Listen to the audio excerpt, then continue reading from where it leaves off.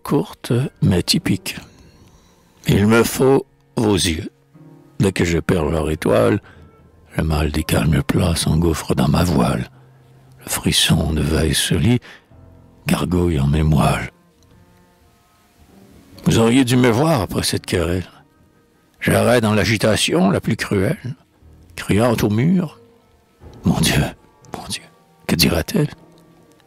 Mais aussi, vrai, me blessâtes aux antennes de l'âme, avec les mensonges de votre traîne et votre tas de complications mondaines. Je voyais que vos yeux me lançaient sur des pistes. Je songeais. Oui, divin, ses yeux. Mais rien n'existe derrière. Son âme est affaire d'oculiste. Moi, je suis laminé d'esthétique loyale. J'ai les trémolos, les phrases nationales. Bref, le violet gros d'œil est ma couleur locale.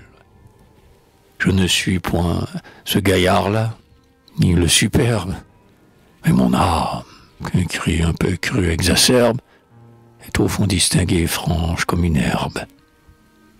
J'ai des nerfs encore sensibles au son des cloches, et je vais en plein air sans peur et sans reproche, sans jamais me sourire en un miroir de poche. C'est vrai, j'ai bien roulé, j'ai râlé dans des gîtes, peu vous, mais n'en ai-je pas plus de mérite? À en avoir sauvé la foi en vos yeux? Dites. Allons, faisons la paix. Venez, que je vous berce. Enfant.